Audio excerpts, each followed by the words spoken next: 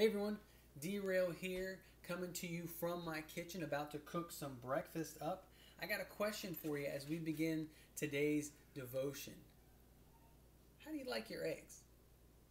Everyone is different when it comes to how they like their eggs, it seems like. Some people like them scrambled, right? Other people like them over easy, like me. I, I like them over easy.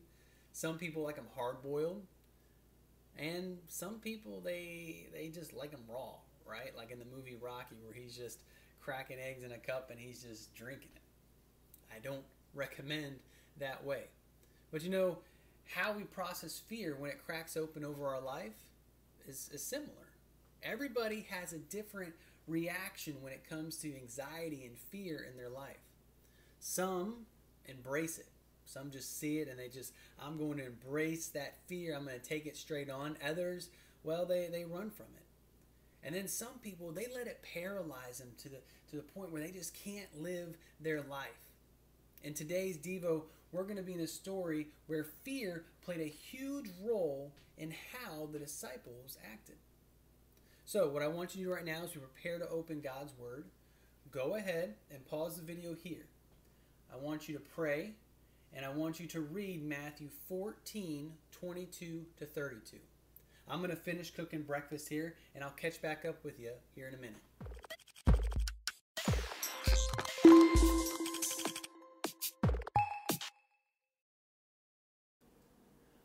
Well, I hope you got the chance to read over that story. You know, there's a lot we could touch on in this story, but there are two things I wanted to highlight. The first thing is did you see how they feared what they didn't understand? They'd been battling the storm for a while, and Stack Scripture says for, for almost the whole night. And then all of a sudden they see Jesus walking on water, and they think it's a ghost, and it freaks them out. I'd be freaked out too. See, our lack of understanding can do that to us. It can freak us out, right? For example, everyone is saying something different about this virus and our circumstances. How long might we be in quarantine for? How can I get the virus? Should I get tested? What happens if my parents don't find a job when all this stuff is over? What about school? Am I done for the year? Will I see my friends ever again? Uncertainty can lead us to anxiety, to worry, to fear, but our faith can lead us to freedom. Did you notice that even though they were freaked out, Jesus was right there with them? It reminds me of Psalm 23 4, which says, Even though I walk the valley of the shadow of death, I will fear no evil for you are with me. At times where we fear, at times when we have anxiety, we must trust that He is right there telling us to take heart. It is I, don't be afraid. The second thing I wanted to point out was how patient Jesus was with them, especially with Peter.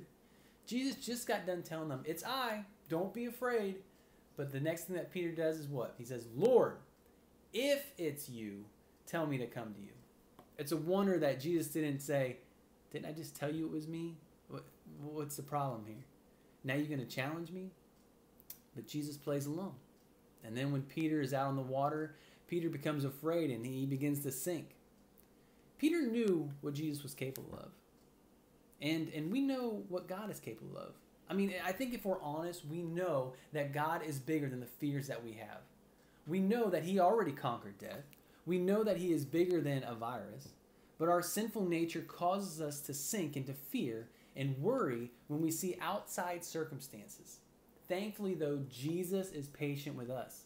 2 Peter 3 9 says, The Lord is not slow to fulfill his promise, as some count slowness, but is patient towards you, not wishing that any should perish, but that all should reach repentance. Listen, if you have anxiety and fear as a believer, it doesn't make you a failure. Our God is patient with us and doesn't give up on us and doesn't stop inviting us to trust Him. So keep going. Keep coming back to Him. Don't let your anxiety and fear stop you.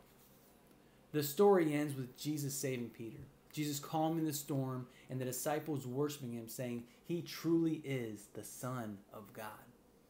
You know what I found interesting, though, is that even uh, though they worship Him, they don't do it till after the storm is calmed. And I wonder if that'll be us. Will we wait till the storm is past to worship Him and trust Him? Or will we praise Him during the storm, saying, God, I know that my life seems out of sorts right now.